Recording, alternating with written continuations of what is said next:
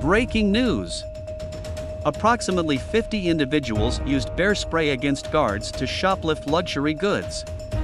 Armed with bear spray, a group of potentially up to 50 individuals executed a daring heist at a Los Angeles mall on Saturday, on August 12, 2023.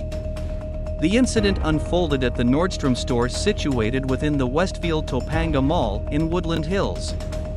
In a meticulously coordinated effort, between 30 to 50 people stormed the premises, deploying bear spray to incapacitate security guards.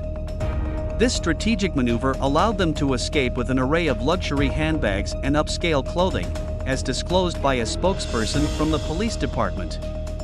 Initial police estimates suggest that the losses incurred by the robbery ranged between $60,000 and $100,000. Despite the prompt response, no immediate arrests were reported, as the robbers managed to flee using a BMW and several other vehicles.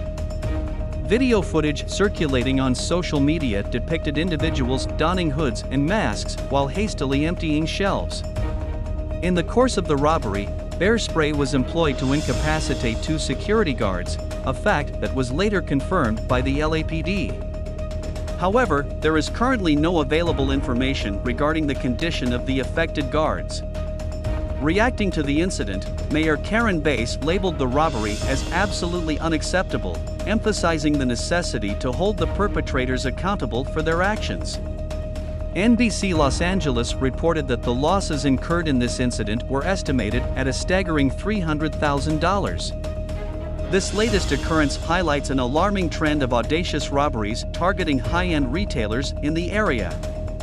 Subscribe to our YouTube channel.